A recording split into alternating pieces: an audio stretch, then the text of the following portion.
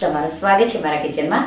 આજે આપણે બનાવીશું ઠંડી માટે ગરમા ગરમ માત્ર દસ મિનિટમાં બની જાય એવો ચોખાના લોટના ક્રિસ્પી ઢોસા કે પછી તમે એને ક્રિસ્પી પુડલા પણ કહી શકો. સાથે ચટણી પણ બનાવીશું. જો તમને મારી રેસિપીઓ ગમતી હોય અને હજુ સુધી ચેનલને સબસ્ક્રાઈબ ન કર્યું હોય, તો સબસ્ક્રાઈબ કરજો અને બાજુમાં આપેલી ઘંટી દબાવજો એટલે નવી નવી રેસિપીના નોટિફિકેશન આવે. તો ચાલો બનાવીએ. એના માટે એક બાઉલમાં એક કપ ચોખાનો લોટ લેશું. અને આપણે એમાં એક કપ પહેલાં થોડું થોડું કરી પાણી ઉમેરીશું. આ રેસિપીથી તમે સાતથી આઠ જેટલા પુડલા કે ઢોસા બનાવી શકશો. તો થોડું થોડું પાણી ઉમેરી ગાંઠા ન રહે એવું આપણે બેટર બનાવીશું. તો આ રીતે મેં એક કપ જેટલું અત્યારે પાણી ઉમેરી દીધું. હવે મિક્સ કરી દઈશું એકદમ સારી રીતે. અને બીજો એક કપ જેટલું પાણી અને પછી એક ચોથાઈ કપ જેટલું, એટલે સવા બે કપ જેટલું પાણી ઉમેરવાનું. ટોટલ તમને અઢી કપ જેટલા પાણીની જરૂર પડશે. પણ જ્યારે તમે ઢોસા બનાવશો, ત્યારે તમને જો લાગે કે બેટર જાડું થઈ ગયું છે, તો ત્યારે આપણે એક ચોથાઈ કપ જેટલું પાણી ઉમેરી દઈશું. તો આ રીતે મેં અત્યારે સવા બે કપ જેટલું પાણી ઉમેરી દીધું છે. હવે આપણે એમાં એક ટીસ્પૂનથી થોડું ઓછું મીઠું, એક લીલા મરચાંના ટુકડા. બહુ તીખું ન હોય એવું લેવાનું જો બાળકો ખાવાના હોય તો. અડધું ગાજર ખમણેલું ઉમેરી દઈશું. બે ટેબલ સ્પૂન ઝીણા કાપેલા લીલા ધાણા, અડધું કેપ્સિકમ ઝીણું કાપેલું અને સાથે એક ચોથાઈ ટીસ્પૂન જેટલી હિંગ, અડધી ટીસ્પૂન મરીનો પાવડર અને એક ટીસ્પૂન ચીલી ફ્લેક્સ ઉમેરી દઈશું અને બધી સામગ્રીઓને મિક્સ કરી દઈશું. આ બેટર એકદમ પાતળું હોવું જોઈએ. તો જો તમે એક કપ ચોખાનો લોટ લ્યો, તો તમારે એ જ કપ કે એ જ વાટકીથી અઢી વાટકી કે અઢી કપ જેટલું પાણી લેવાનું. તો અત્યારે મેં સવા બે કપ જેટલું ઉમેર્યું છે, પછી જરૂર લાગે મને તો એ રીતે હું ઉમેરીશ. તો એકદમ સારી રીતે મિક્સ કરી દઈશું અને તમે જોઈ શકો છો બેટર કેવું છે, આવું પાતળું હોવું જરૂરી છે, પણ પાણીનું માપ તમારે એ ધ્યાન રાખી અને ઉમેરવાનું. તો બેટર હવે આપણું તૈયાર છે, હવે આપણે આને રેસ્ટ પણ નથી કરવાનું, સીધા આપણે ઢોસા જ બનાવીશું. એના માટે મેં નોનસ્ટિક તવો ગરમ કરવા મૂકી દીધો છે. ખાસ કરીને ધ્યાન રાખવાનું આવા ઢોસા બનાવો ત્યારે કિનારીવાળો તવો હોવો જોઈએ. એને આપણે થોડા અમથા તેલથી ગ્રીસ કરી દઈશું આ રીતે અને તવો ગરમ થઈ જાય.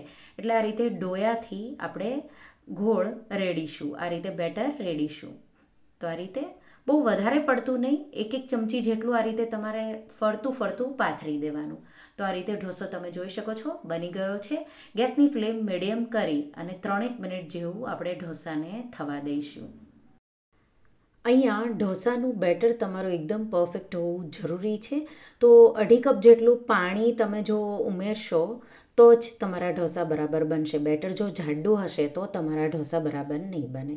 તો ત્રણ મિનિટ જેવું મેં મીડિયમ ફ્લેમ પર થવા દીધું અને આ રીતે ઉપરથી ડ્રાય થઈ જવું જોઈએ. હલકી ગોલ્ડન જેવી આવી ડિઝાઇન આવી જાય. પછી આ રીતે કિનારીઓ અલગ કરી લઈશું અને ઢોસાને વાળી દઈશું. અને આ રીતે અલગ કરી ઢોસાને ઉપાડી લઈશું. તો આ રીતે ઢોસો તૈયાર છે. ટિપ્સ અને ટ્રિક્સ એ છે કે જ્યારે તમે બેટર રેડો ત્યારે તવો બરાબર ગરમ હોવો જોઈએ. એ જ રીતે મેં બીજી કઢાઈ પણ જેવો તવા જેવી લઈ લીધી છે. એમાં પણ થોડું તેલ ગ્રીસ કરી સારું એવું હલકું ગરમ થઈ જાય. એટલે ગેસની ફ્લેમ મીડિયમ કરી બેટર આ રીતે પાથરીશું. થોડું તેલ ઉપર નાખીશું અને બેથી ત્રણ મિનિટ એને પણ થવા દેવાનું છે. તો બેટર થોડું જાડું થઈ ગયું છે, તો પાછું મેં એક ચોથાઈ કપ જેટલું પાણી ઉમેર્યું અને આ રીતે ડ્રાય થઈ જાય ઢોસો ઉપરથી અને ગોલ્ડન ડિઝાઇન દેખાઈ જાય એટલે બધી સાઈડની કિનારીઓ અલગ કરી અને સાઈડ ફેરવી લઈશું. અને એક મિનિટ જેવું બીજી સાઈડ શેકીશું સાઈડ ચેન્જ કરી અને ઢોસા આપણો તૈયાર છે. તમે જોઈ શકો છો. તો જરૂર લાગે તો જ બીજી સાઈડ શેકવાનું. ઓલરેડી તમે ત્રણ ચાર મિનિટ એક સાઈડ શેકો એટલે તમારો ઢોસો એકદમ સારી રીતે થઈ જશે. તો તૈયાર છે. એ જ રીતે બીજી વાર આપણે તવો થોડો સાફ કરી લઈશું. અડધી ટીસ્પૂનથી પણ થોડું ઓછું તેલ લઈ આ રીતે તવાને ગ્રીસ કરી લઈશું. અને આ રીતે ફરતું તો તવો બરાબર ગરમ હોય પછી ગેસની ફ્લેમ સ્લો કરી અને પછી આ રીતે તમારે બેટર પાથરવાનું. હવે ગેસની ફ્લેમ મીડિયમ કરી દઈશું. મીડિયમ ફ્લેમ પર ત્રણથી ચાર મિનિટ જેવું કે ઉપરથી થોડું ડ્રાય થઈ જાય, કિનારીઓ પણ ડ્રાય થઈ જવી જોઈએ. પછી ઢોસાને તમારે કિનારીઓ અલગ કરી પછી જ તમારે એની સાઈડ ચેન્જ કરવાની તો આ રીતે. તો કિનારીઓ આ સાઈડથી ડ્રાય થઈ ગઈ છે અને હવે આપણે એને આ રીતે ફ્લિપ કરી દઈશું. તો આ રીતે. અને એક મિનિટ જેવો જ આપણે એને હાઈ ફ્લેમ પર શીખીશું એક મિનિટ જેવું થાય એટલે ઢોસા આપણો, તમે જોઈ શકો છો, તૈયાર છે. ફોલ્ડ કરી અને સર્વ કરવા માટે તૈયાર છે. એ જ રીતે આપણે બીજા ઢોસા કે પુડલા બનાવી લઈશું અને ગરમ ગરમ આ ઢોસાને ટમેટાની ચટણી સાથે કે નાળિયેરની ચટણી સાથે સર્વ કરો. તો હું ટમેટાની ચટણી સાથે સર્વ કરી રહી છું. એના માટે એક પેનમાં એક ટીસ્પૂન જેટલું તેલ ગરમ કરી, ચારથી પાંચ લસણની કળીઓ સાતળીશું. લસણ ન ખાતા હોય તો નહીં નાખવાનું, ડાયરેક્ટ ટમેટાં સાતળવાના. એમાં ચાર લાલ હોય એવા ટમેટાં લેવાના. સાથે મીઠું અડધી ટીસ્પૂન જેટલું અને ટમેટાં સોફ્ટ થાય ત્યાં સુધી એને બેથી ત્રણ મિનિટ જેવા સાતળી લઈશું. ટમેટાં જેવા સતળાઈ જાય, થોડા સોફ્ટ થાય એટલે આપણે એમાં ચારથી પાંચ સૂકા મરચાં. તો તીખી તમારે કેટલી બનાવી છે ચટણી? એ પ્રમાણે ઉમેરવાના. અને બે મિનિટ જેવું પાછું આપણે સાતળી લઈશું. એટલે ટમેટા એકદમ સારી રીતે મસી એવા સોફ્ટ થઈ જશે. તો આ રીતે હવે ટમેટાં સોફ્ટ થઈ જાય. એટલે આપણે એમાં બે આંબલીના ટુકડા, તો નાના નાના આંબલીના બે ટુકડા ઉમેરી દઈશું, મિક્સ કરીશું, ગેસની આંચ બંધ કરી દઈશું અને એક ટીસ્પૂન જેટલી ખાંડ ઉમેરી દઈશું. અને ઠંડુ પડે મિશ્રણ, એટલે આપણે એને મિક્સર જારમાં વાટી લઈશું. તો આ રીતે હવે હું એને ઠંડુ થવા દઈશ. ઠંડુ થઈ જાય એટલે આપણે મિક્સર જારમાં ઉમેરી દઈશું અને આ રીતે એકદમ સ્મૂથ ચટણી વાટી લઈશું. ચટણી વટાઈ જાય એટલે આપણે એમાં થોડા ધાણા ઉમેરી અને એકવાર પલ્સ કરીશું.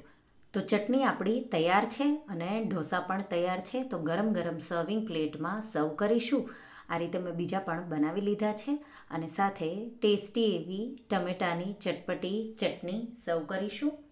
તો ઠંડી માટે ગરમા ગરમ ક્રિસ્પી એવા આ ચોખાના લોટના ઢોસા અને સાથે ચટપટી ટેસ્ટી એવી ટમેટાની ચટણી તમે એકવાર જરૂરથી ટ્રાય કરજો. તો તમે આ ઢોસા જો આ રીતે બનાવશો તો વારંવાર તમે બનાવશો તો તમે જોઈ શકો છો એકદમ ક્રિસ્પી એવા ટેસ્ટી બન્યા છે.